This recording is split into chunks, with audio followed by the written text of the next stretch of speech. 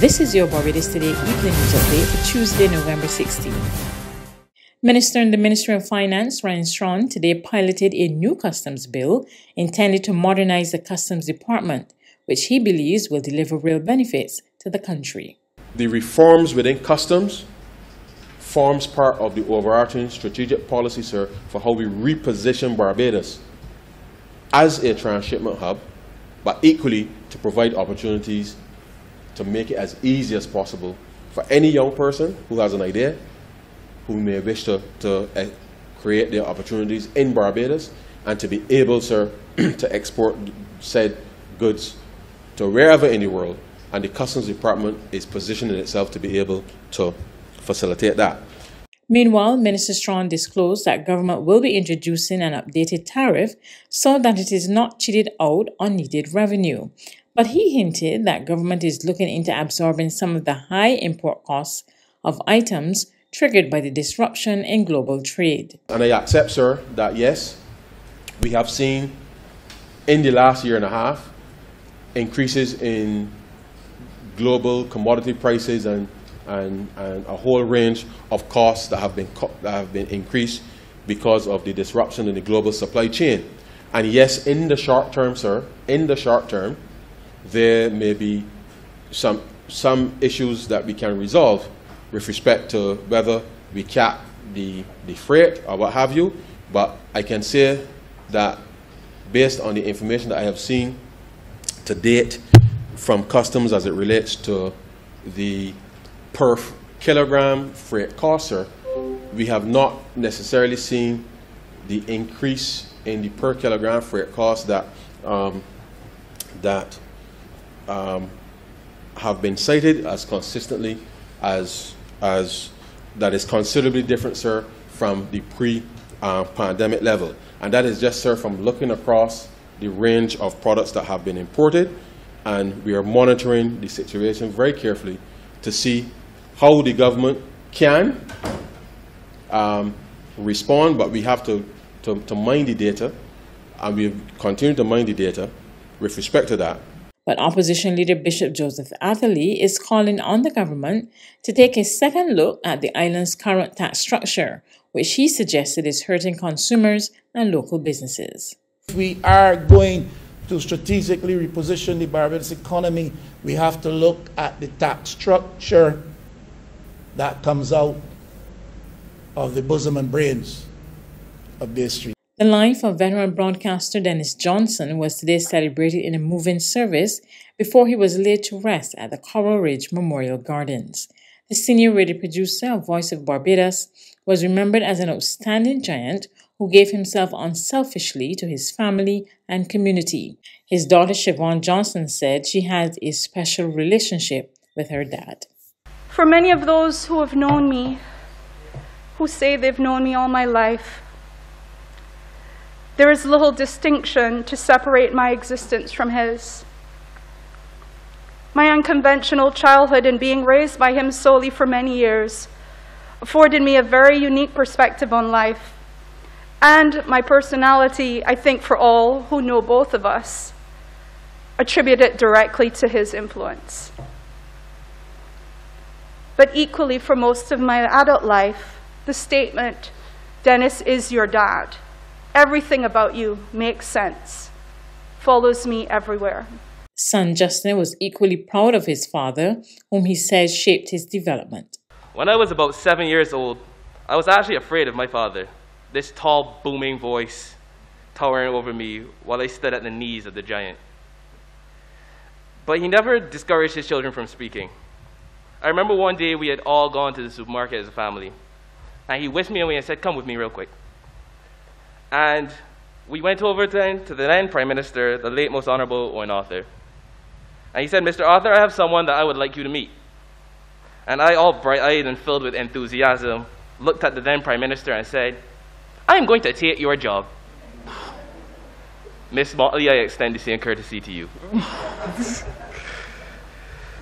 That being said, the person who said they would help me manage my campaign is currently unavailable, so that will be on pause for right now. But even if that goal would be put on the back burner later on in life for me, my father forevermore prepared me should that day ever come. By age 11, I was now standing at the waist of the giant. My father began to pass on his ever expanding diaspora of knowledge. In the past week, I have read several tributes to my father. One read, Dennis could explain the politics and governance of Barbados, Grenada, Grenada and Trinidad effortlessly. To which I responded, Only?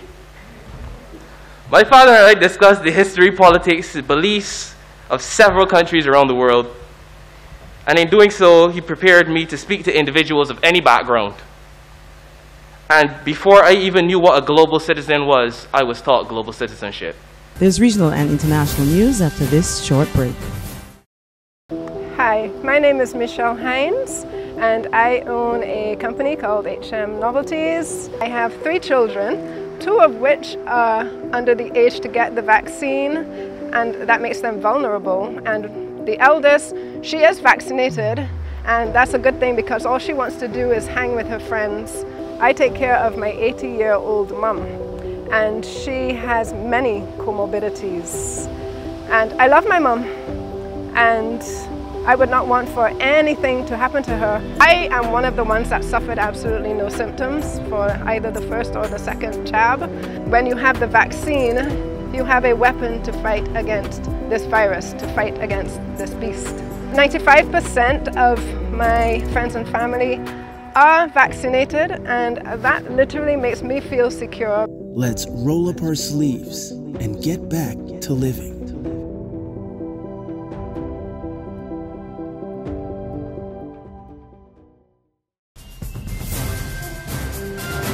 Regional news, authorities in Guyana are exploring the possibility of setting up a gun court to tackle the current backlog of gun related cases, and they have enlisted the help of Jamaica to get started.